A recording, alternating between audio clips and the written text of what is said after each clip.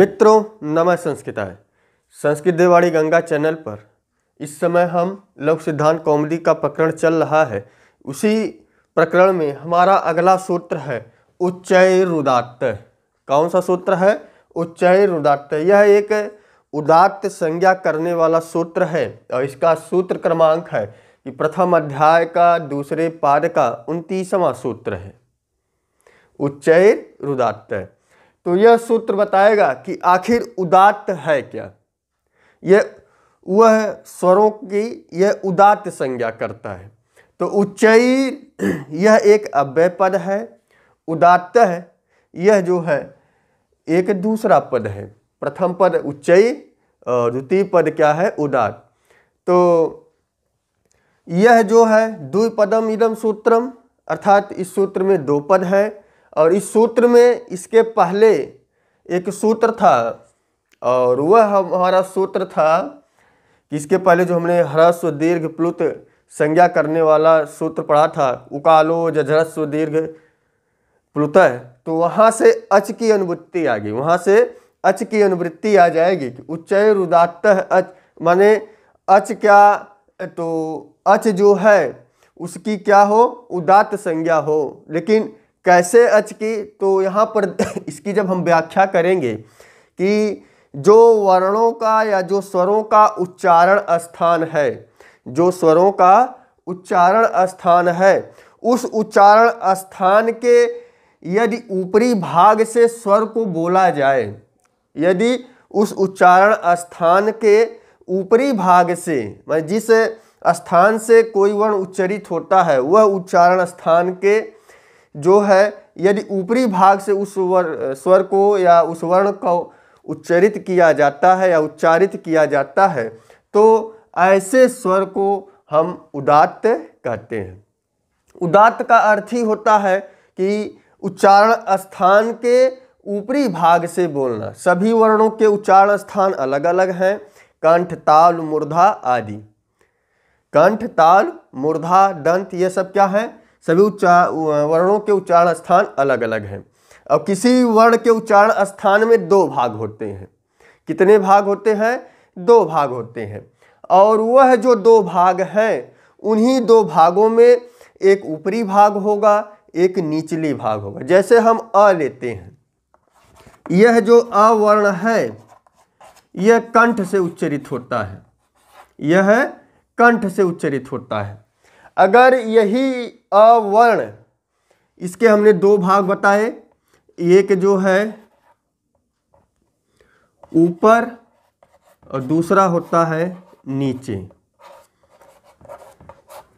तो जो यदि हम इसी वर्ण को कंठ के ऊपरी भाग से बोलें या कंठ के ऊपर के भाग से अगर हम अवर्ण का उच्चारण करेंगे तो वह अवर्ण क्या माना जाएगा? उदात्त माना जाएगा। वह अवर्ण क्या माना जाएगा? उदात्त माना जाएगा। तो यहाँ पर यह सूत्र यही बताया कि यह उच्चैर उच्चैर उदात्त है। तो यह केवल यह निर्धारित किया कि स्वरों में यदि हम किसी स्वर को उदात्त करके बोलते हैं या अपने उच्चारण स्थान से थोड़ा सा उसके ऊपरी भाग से बोलते हैं तो वह वर्ण उदात्त कहलाएगा। तो अब इसका एक अगला सूत्र है और वह हमारा अगला सूत्र है निश्चयी निश्चयीर नुदात्त। निश्चय नुदात्त। और इसका सूत्र क्रमांक है एक, दो, तीस। अर्थात प्रथम अध्याय का, दूसरे पाद का तीसवां सूत्र। तो यह बचाएगा निश्चय अनुदात सारी प्रक्रिया वही है। यह अनुदात करने वाला सूत्र है। उकालो जझर्स्व दीर्घ प्रुतः से अच की अनुवृत्ति आएगी। तो बताएगा कि ऐसे स्वर जिनका अपने उच्चारण स्थान के निचले भाग से उस स्वर को अगर उच्चारित किया जाता है या बोला जाता है तो ऐसे स्वर को हम अनुदात कहेंगे। उसे स्वर को हम क्या करेंगे अनुदात कहेंगे। ऐसे स्वर को हम क्या कहेंगे? अनुदात कहेंगे। तो यह सूत्र अनुदात करने वाला है। अर्थात यह अनुदात संज्ञा करने वाला सूत्र है। यह उदात्त संज्ञा करने वाला सूत्र है। जब यही अवर्ण ऊपरी भाग से बोला जा रहा था, यही अवर्ण जो है, जिसका उच्चारण स्थान कंठ था, जब यह ऊपरी भाग से बोला जा रहा था, तब यह उदात्त हो गया। कंठ से अगर सीधा सीधा कंठ से ही उच्चरित होगा तो वह कंठवर्ण है ही, अकंठवर्ण है ही। लेकिन इसी कंठवर्ण के यदि ऊपरी भाग से बोला गया तो वह उच्चय उदात्त अर्थात वह उदात्त कहलाया। और इसी कंठ से यदि नीचे की, मैंने अपने उच्चारण स्थान से नीचे की तरफ़ नीचे की तरफ़ से अगर उच्चरित हो रहा हो तो वह जो है क्या कहलाएगा? वह क्या कहलाएगा? वह अनुदात कहलाएगा। कंठ वर्ण के अपने उच्चा, अवर्ण जो है कंठ है कंठ वर्ण के, कंठ के यदि ऊपरी भाग से बोला गया तो वह वर्ण जो है उदात्त कहलाएगा। यदि कंठ के निचले भाग से बोला गया, माने जहाँ से वर्ण उच्चरित हो रहा उसी से नीचे भाग से थोड़ा सा बोला गया तो वह वर्ण क्या कहलाएगा? अनुदात्त कहलाएगा। तो उच्चैर उदात्त निचैर अनुदात्त यह केवल संज्ञा करने वाला सूत्र है। तो इसी तरह अ है, ई है री है री है, इस प्रकार से हमें सभी वर्णों के जो है, उच्चारण स्थान है।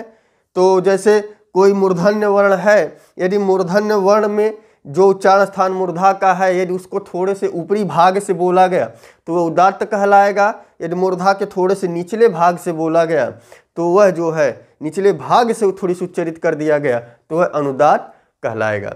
और इसी का एक तीसरा सूत्र है, समाहार स्वरित तीसरा सूत्र क्या है? समाहार स्वरित और इसकी सूत्र संख्या है प्रथम अध्याय के दूसरे पाद का इकतीसवां सूत्र है। इसमें भी जो है, उकालो जझस्व दीर्घ, प्लुतः से जो है, अच की अनुवृत्ति आएगी। तो समाहार स्वरित अर्थात ऐसे वर्ण या ऐसे उच्चारण करना स्वरों का, जो तो न अनुदात्त हो, जो न तो उदात्त हो। अर्थात उदात और अनुदात दोनों न होकर मध्य भाग से बोला जाए ऐसे स्वर को हम स्वरित कहते हैं। ऐसे स्वर को हम क्या कहते हैं? स्वरित कहते हैं। तो समाहार स्वरित यह बताया कि जो वर्ण उदात और अनुदात के बीच में बोला जाए, ऐसे स्वर को हम स्वरित कहते हैं। तो यह उदात अनुदात और स्वरित के जो भेद हैं, यह लौकिक संस्कृत में तो कम प्रयोग मिलते हैं, लेकिन जो वैदिक संस्कृत है जो हमारी वैदिक संस्कृत है, जो वैदिक ब्राह्मण होते हैं, वह जब इस तरह से करते हैं तो वही वहाँ पर उन लोगों की उदात अनुदात, स्वर को चढ़ाकर बोलना कि ओम गा के होता है तो उसी तरह जो है, वह चढ़ा और उतार को, वहीं पर वह उदात अनुदात स्वरित को पकड़ते हैं। साधारण विद्वान उदात अनुदात स्वरित की पहचान नहीं कर पा कर सकता। बहुत मेहनत करने पर वह पकड़ सकता है, लेकिन जो वैदिक ब्राह्मण है, इसको आसानी से पकड़ लेते हैं। कौन सा स्वर उदात्त होगा, कौन सा स्वर अनुदात्त होगा, कौन सा स्वर स्वरित होगा? तो इस प्रकार से उच्चैर अनुदात्त है, उदात्त संज्ञा करने वाला सूत्र है निश्चय अनुदात्त है, अनुदात्त संज्ञा करने वाला सूत्र है, और समाहार स्वरित है। यह स्वरित संज्ञा करने वाला सूत्र है। तो अब हम जो है अगले सूत्र की तरफ़ चलते हैं।